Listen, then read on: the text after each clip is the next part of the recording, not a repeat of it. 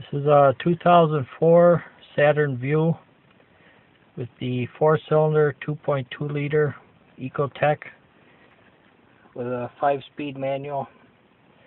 It's a front-wheel drive only. Uh, motor's just been uh, changed and I've got a speedometer problem. I'm going to start the car now. First I'll turn it to the accessory.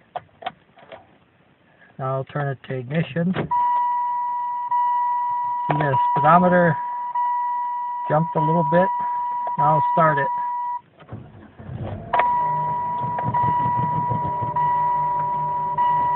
See the speedometer jumping around?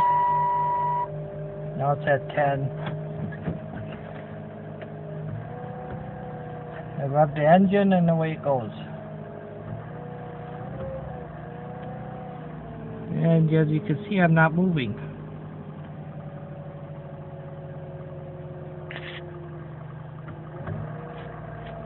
Alright.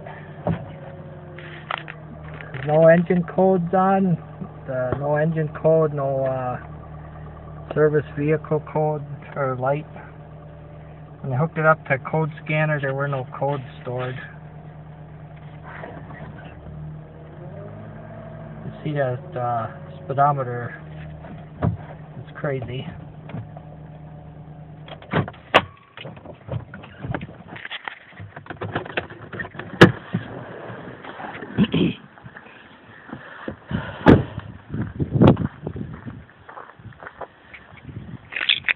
Alrighty. I don't know how well you can see down there.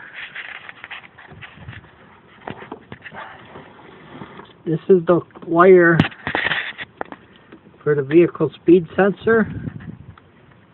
This is the vehicle speed sensor that was in the car after I did the engine swap and it was acting up.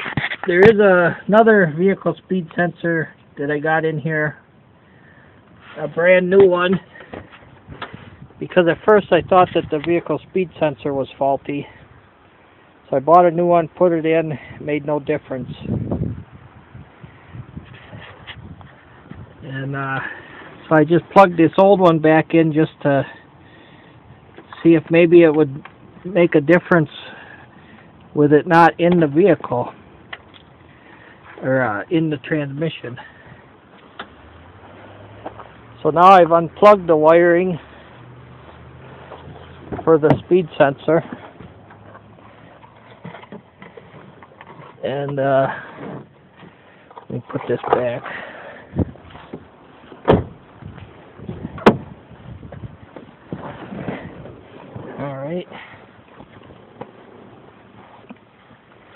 Now I will start it up again.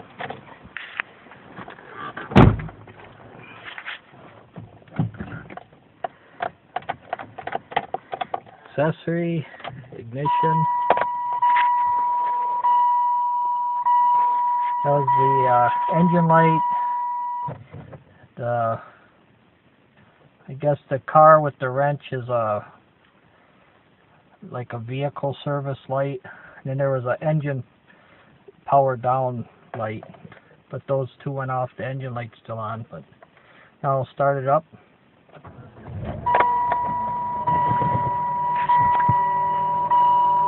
And it, as suspected, there's no speedometer movement at all with the wire unplugged from the speed sensor.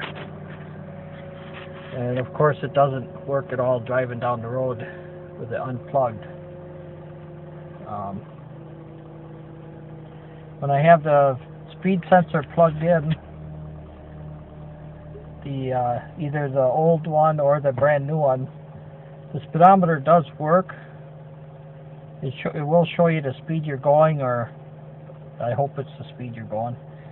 But it will fly up and down on you. It usually goes up more than it goes down.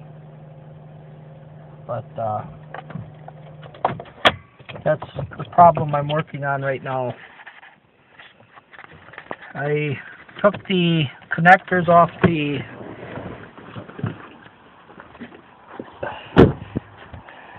the computer I first pulled the battery out, charged it up, make sure it was fully charged. Then while the battery was off and disconnected, I pulled both of these connectors off of the the uh, ECU or EM, EMU or whatever they call it, the computer for the engine. Got these to come off. All of the connectors look really clean. I didn't see any corrosion. Uh, here's the ground wire on the computer.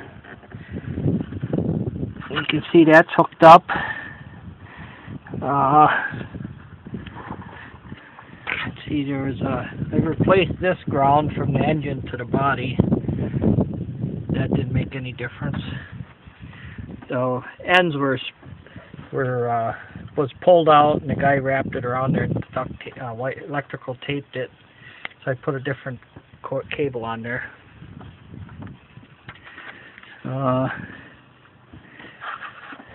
now this is bolted to a plastic intake manifold,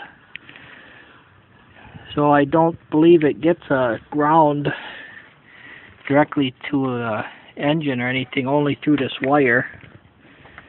I could be wrong on that, but so I guess if I get somebody to sit in the car while I wiggle on the wires around, maybe see if that makes a difference. Otherwise, if you have any ideas on what to check for, uh, just add them in comments or send me a note. Thank you.